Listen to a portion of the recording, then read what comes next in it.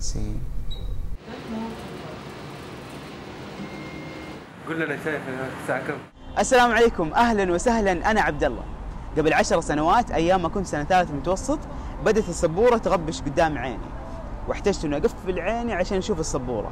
مع الأيام صارت السبورة تغبش أكثر وأكثر وقفلة العين تزيد أكثر وأكثر. انتبه لي واحد من المدرسين وقال لي عبد الله لازم تكشف عن نظرك. من بعد هذاك اليوم بدأت رحلتي مع النظارة. ولكن هذا الأسبوع قلت علاقتي مع النظارة لازم تنتهي. خلينا نعيش التجربة مع بعض. هذه التجربة أكيد يفكر فيها أي شخص يلبس نظارة. عملية تصحيح النظر. إيش هذه العملية؟ وإيش الخطوات اللي حتمر فيها؟ وكيف حيكون إحساسك وقتها؟ في هذا الفيديو نبغى نجاوب على كل هذه الأسئلة. وبنهاية الفيديو مجهزين أشياء رهيبة. خلونا مع بعض خطوة بخطوة. شكرا. لماذا تود إجراء عملية تصحيح نظر؟ تعبت من عدسات لا أحب مظهري بالنظارة تعبت من النظارات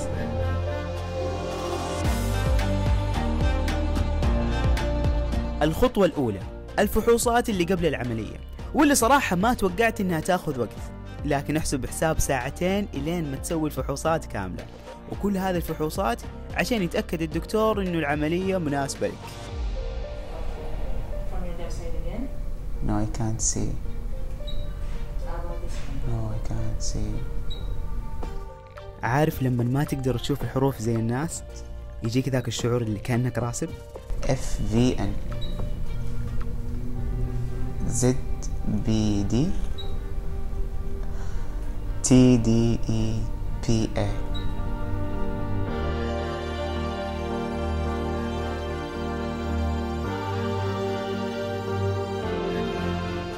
كل لحظة تشوف فيها صورة العين لا يمكن إنك ما تقول سبحان الخالق. كل الفحوصات الماضية ما تحس فيها ولا تأثر عليك إلين ما توصل لقطرة توسيع حدقة العين. هنا تصير الرؤية مغبشة شوية وهذه القطرة عشان فحص قاع العين. شايف هنا في رقم 8 واحد في جهة الأحمر والتاني في جهة الأخضر. أيوه. هنا يتحس الرقم الأسود بتاعه أغمق شوية. الأحمر. طيب الحمد لله يا عبد الله. أمورنا الحمد لله تمام. تمام. آه، إحنا عملنا فحوصات كاملة للعين. آه، تصوير القرنية الحمد لله طيب. سمك القرنية كويس.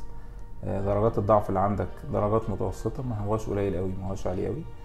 فبالنسبة للفحوصات بتاعتنا ودرجات الضعف إن شاء الله العملية هنسويها لك اسمها عملية الفيمتو ليزر دي عملية بسيطة بتاخد تقريبا من خمس لعشر دقايق في كل عين. بتتم بقطر البنج بتخرج في نفس اليوم.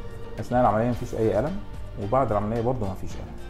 بعد العملية ممكن شوية من تلات أربع ساعات كده بعد العملية تحس دموع حتى حرقان شوية بسيط وكل أعراض دي تاني يوم إن شاء الله تبقى أحسن وتاني يوم تبقى شايف كويس دكتور أحمد دائما في كلام كذا بين الناس إنه بعض دكاتره العيون يكون أصلا لابس نظارة وما يسوي عملية تصحيح النظر بنفسه. فهي العملية تخوف لهذه الدرجة؟ أو في شيء يعرفوه الدكاترة الناس ما يعرفوه فبالتالي ما يسوي عمليات لنفسهم ولا إيش الهرجة؟ غير صحيح. طبعا ال- المرضى يمكن شافوا بعض دكاترة عيون لابسين نظارات. بس في دكاترة عيون كثير برضه ما يلبسوا نظارات. ما تساءلوا طب هذول ليش ما هم لابسين نظارات؟ يمكن سووا تصحيح. وفعلا في دراسة انعملت تثبت إنه تقريبا 60 أو أكثر من 60% من دكاترة العيون خضعوا لتصحيح نظر قبل كده.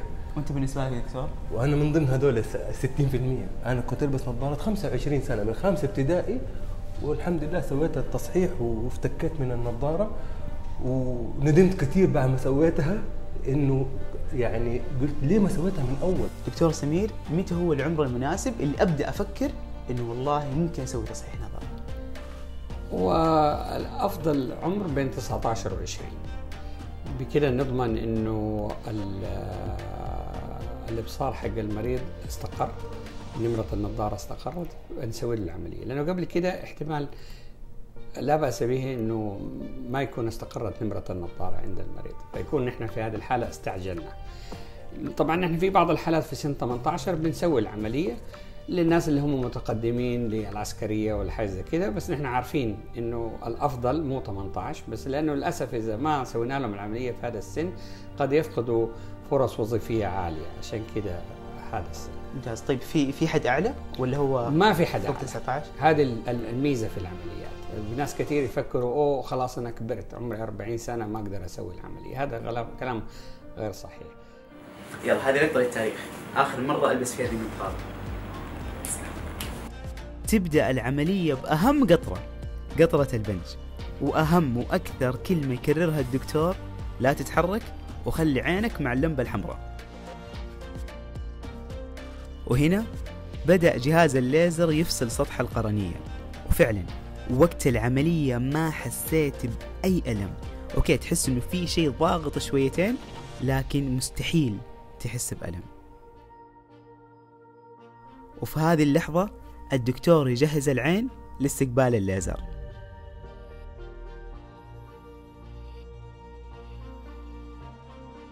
الجهاز يقنص القرنية وعينك ثابتة طبعا والآن الليزر يضرب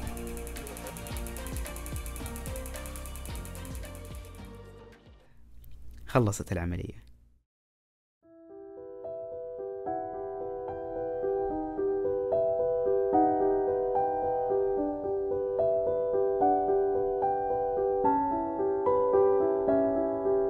قول لنا شايف الساعة كم؟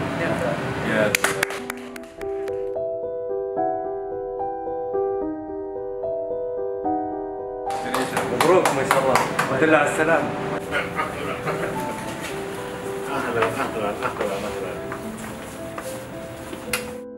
بعد العملية مباشرة الدكتور يتأكد إنه كل شيء تمام أمورك طيبة يعطيك قطراتك وتفضل على البيت وألف سلام عليك.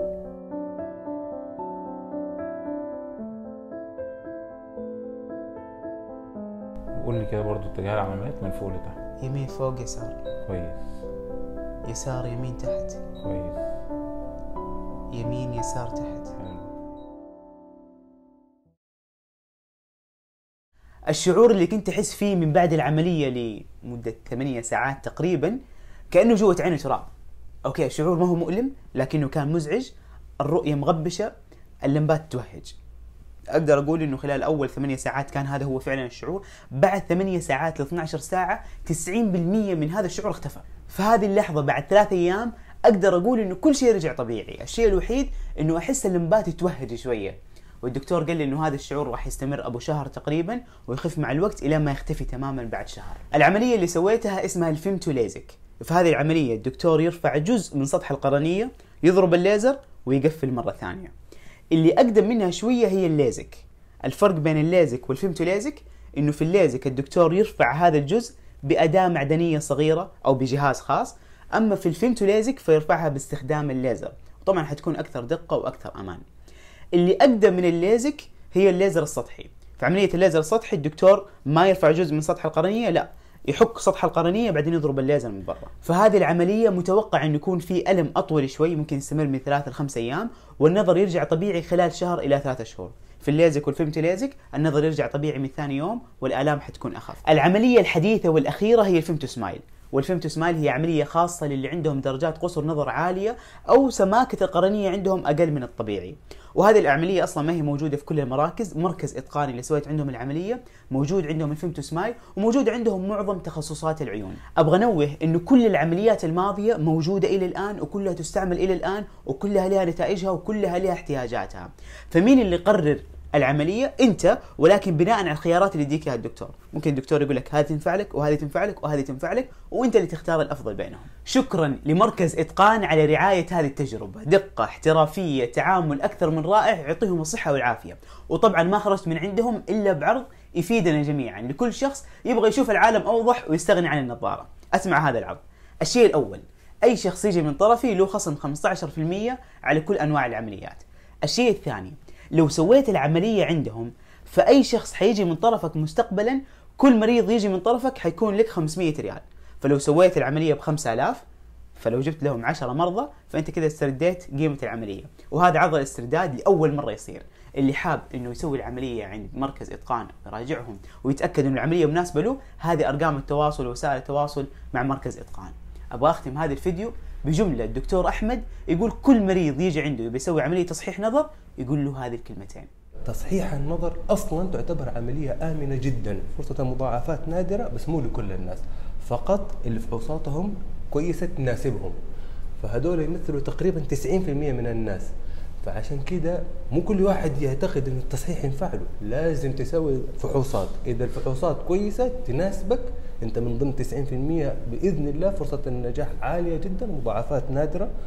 فتتوكل على الله وتستخير طبعا تتوكل على الله وتسويها وما تخاف. بالعادة الناس بعد العمليات يرموا نظاراتهم ولكن ما يهون علي والله. أنا من الناس اللي أحفظ ذكريات صراحة. النظارة هذه لازم تبقى. عارف ما راح ألبسها لكن لازم تبقى.